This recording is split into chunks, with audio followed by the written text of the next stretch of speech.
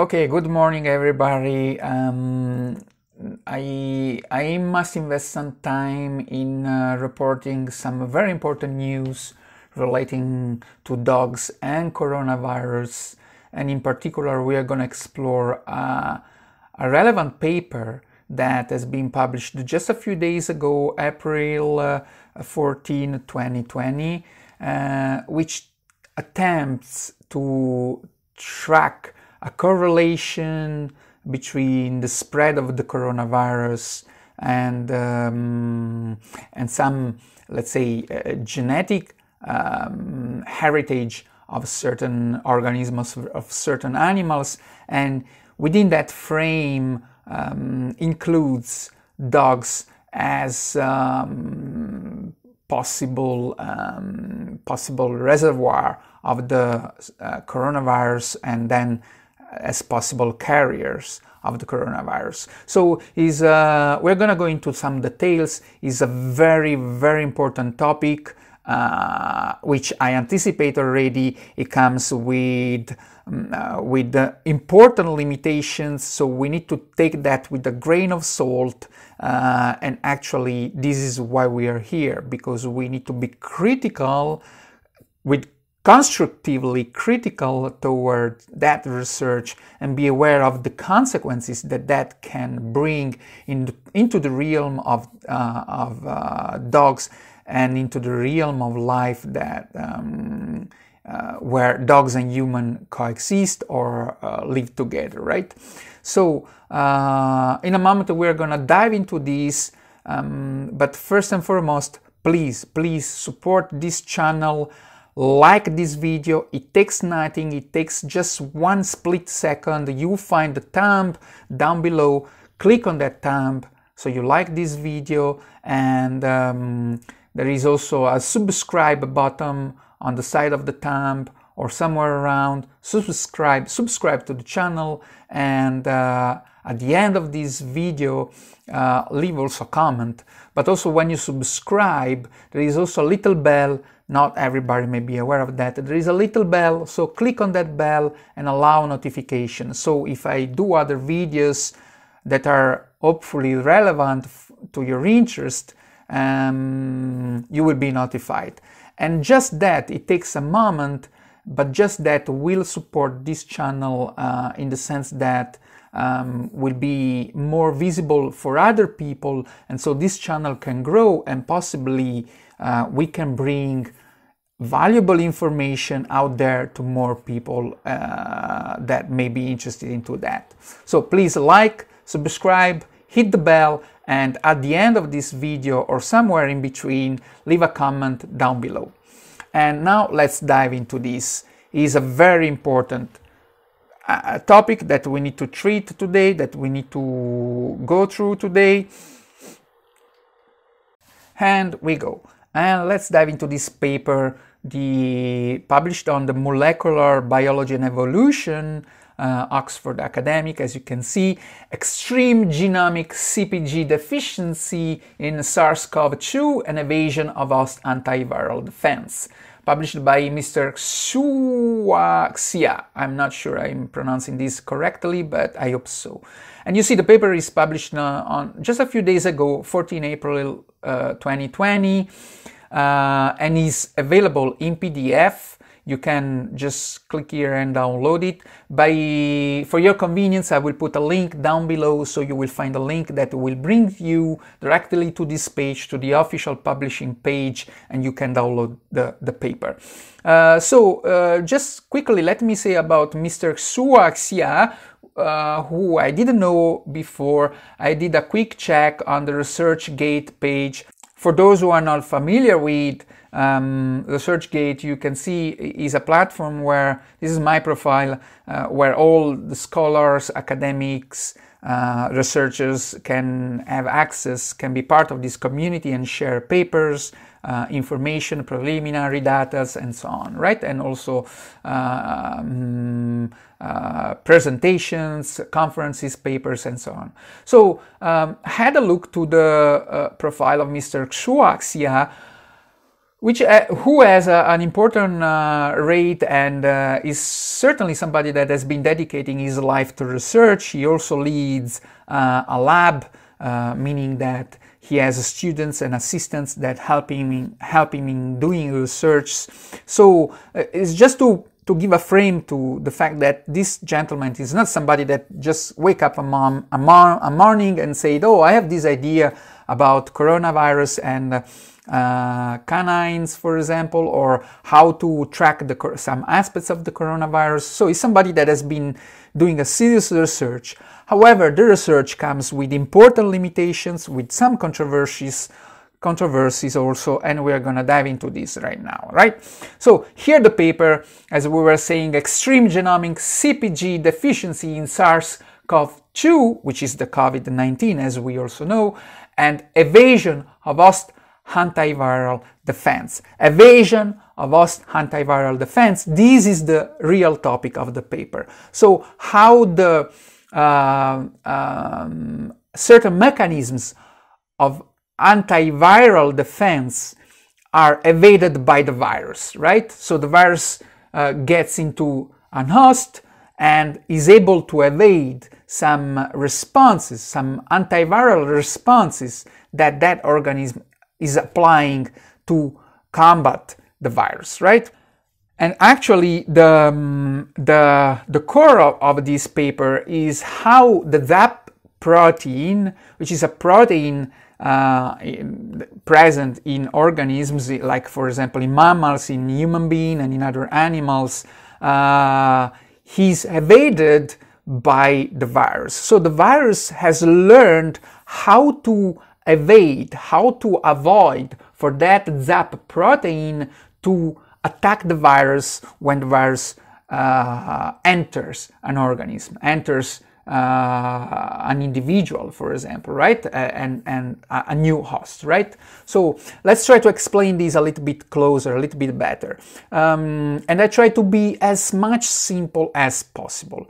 Let's imagine the virus, every organism as a, as a, as a genetic uh, heritage, right? A genetic uh, package, let's say, of elements, right? So let's say this is the virus, and all, all this virus is made of a lot of genetic elements, right? And this is the host. So the virus enters into the host, right? Now, the host, in order to fight the virus before creating antibodies, so before the antibody response, it may have some other strategies to fight the virus. And in fact, there is this ZAP protein, zinc uh, finger uh, antiviral protein, that has the ability to attack some uh, areas of the genetic uh, part of the virus, right? So uh, the more presence of these areas in the genetic uh, mm, uh, package, let's say, of the virus, the more the ZAP can fight the virus as an antiviral response. So, what the virus has developed has developed the ability to reduce that area that can be attacked by the uh, zinc finger antiviral protein so that the zinc finger, finger antiviral protein is less effective in in its antiviral response to the virus. And so what as a consequence the virus can proliferate and can improve its fitness and can survive and can uh, keep expanding in when is in that type of host, right? So this uh, part of the virus of the COVID-19 that is attacked by the ZAP protein is the um, is called technically CPG, right? So by uh, reducing its CPG areas, so to speak, the virus has learned, uh, let's put it this way, to protect itself from the attack of the antiviral protein, right, from an organism, right? And so this is thought, uh, is considered in the paper as this is considered the, the, the foundation of the paper. So um, in the attempt of understanding how the COVID-19 has developed, in which organism, in which animal has been, has becoming so resistant, has becoming so strong, right? In which animal we find a low level of CPG, which means the virus have produced less CPG and though has become so resistant and more resistant to the uh, ZAP protein, right?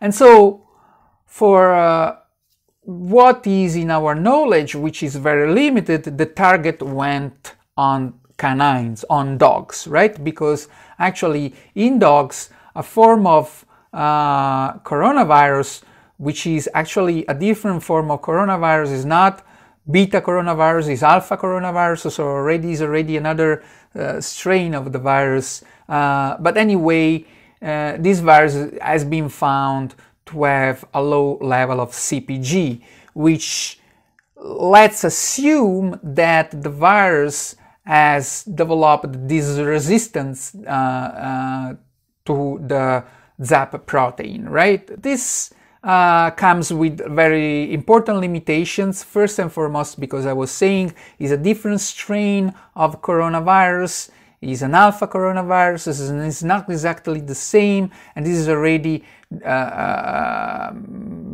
can consider can be considered a limitation in in in in in this whole reasoning, right? And um, another important, probably more important limitation, which is recognized also, acknowledged by the author itself, himself of this paper, uh, is that uh, we don't have a lot of data. I mean, we don't have uh, the genetic data for all the mammals, right? For all the animals that are part of the mammals um, group, right? So, uh, unfortunately, we have important data. Uh, I mean, fortunately, we have important data about dogs because it's one of the most studied species, uh, also genetically speaking, right?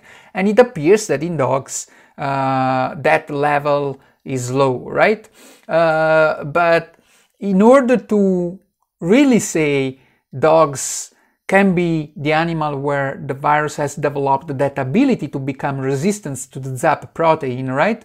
To the ZAP, to the zinc protein, antiviral protein, we would need to compare that to all of the other uh, animals, and we don't have those data, right?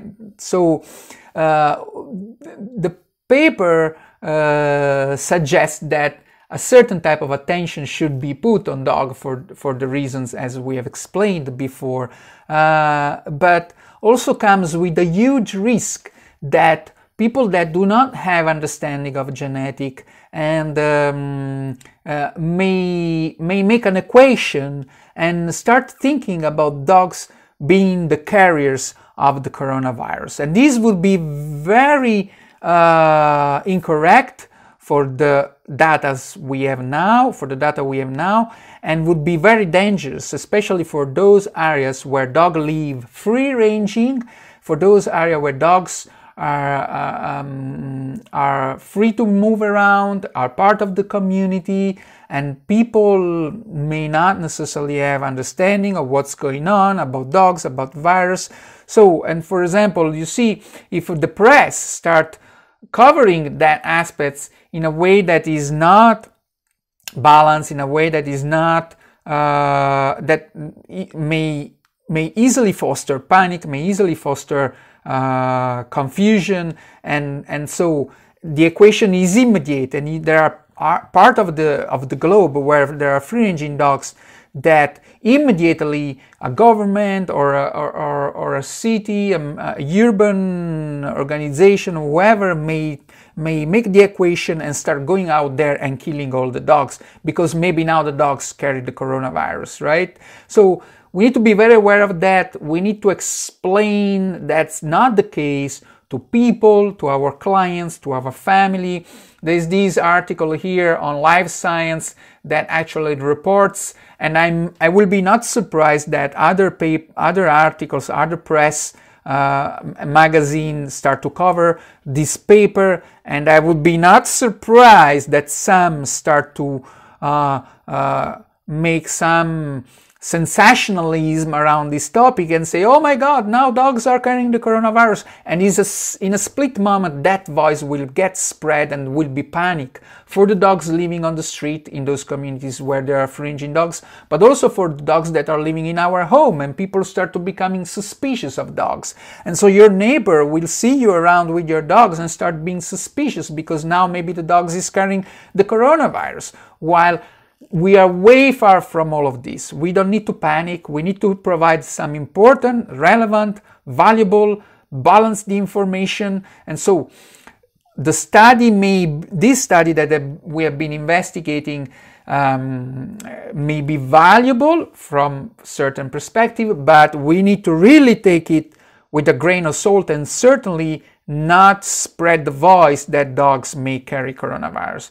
As I was mentioning here also in this new study, uh, in this article in Live Science, um, the title you see, new study suggests COVID-19 hopped from dogs to human.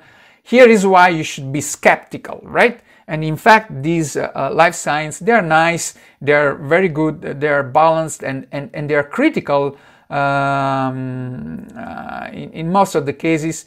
Um, and here we have, for example, a counterpart uh, um, that's uh, that say I guess is a, is um, a, is a scientist from uh, um, San Francisco. Let me see if I, okay, Pleuni Pennings. Uh, yes, I've read her paper, some of her papers somewhere. Uh, she has been studying already other viruses like HIV and other other diseases like uh, dengue uh, and other type of influenza, hepatitis. Like uh, she says that uh, Mr. Xia in his paper noted that studies have shown an association between decreasing CPG in viral RNA genomes and increased virulence, meaning low CPG virus appears associated with more severe infection. However, although evolution favor mutation that delete CPG sites, as we have said before, the CPG sites reduces so that the the the the the ZAP protein cannot be so effective on the virus. Um, it doesn't mean that virus with low numbers of CPG sites are necessarily more virulent, Pennings said. For example, the BK virus contains very few CPG sites and resides in the kidneys of an estimated 60 to 80 percent of adults, but typically only triggers symptoms in immunos, Im, immunosuppressed, immunosuppressed people, um, uh, Mr. Uh, Miss um, uh, Dr. Pennings, Pennings says. Uh, so, all in all, uh, we have highlighted a few um, mm, limitations of the study. We have also heard uh, through these uh, last uh, press article the voice of another expert that uh, provide, let's say, a counter voice, not a counter, but a different voice on this type of investigation. But what's the takeaway um, of all of this? Is that there is no evidence at this point that dogs carry that coronavirus, the COVID 19 coronavirus, the SARS CoV 2 coronavirus, which is part of the beta coronavirus group.